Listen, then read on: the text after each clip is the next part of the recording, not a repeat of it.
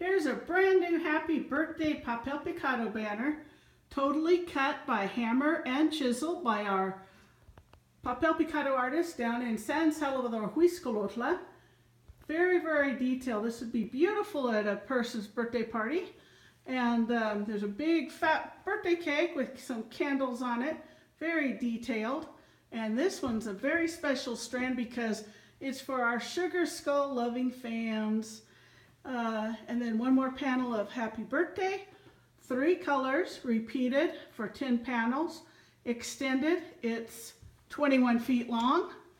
And it would make your birthday party look awesome.